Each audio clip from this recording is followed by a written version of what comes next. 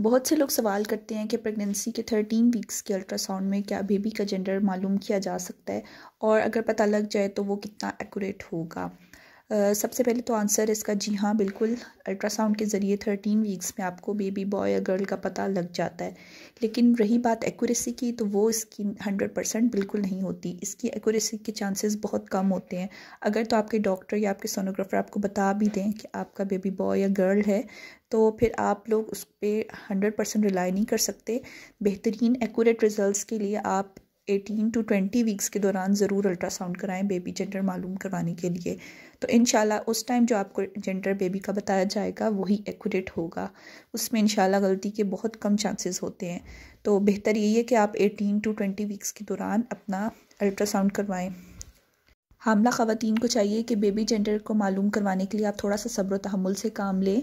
अगर तो आप चाहते हैं कि आपको बिल्कुल एक्यूरेट पता चले तो एटलीस्ट थर्टीन वीक्स में ना पता लगवाएँ। एटीन से ट्वेंटी का वेट करें।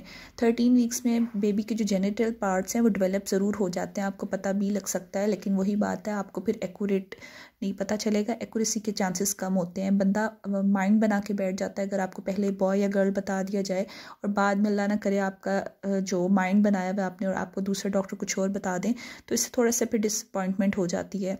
तो बेहतर यही है कि लिहाजा बंदा टाइम से मालूम करवाए, जो उसका सही वक्त है बेबी जेंडर को मालूम करवाने का।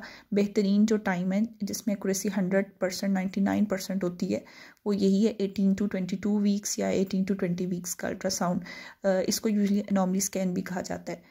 आई होप आप लोगों को आज की वीडियो अच्छी लगी होगी तो अपना बहुत सारा ख्याल रखिएगा। अल्लाह हाफिज़।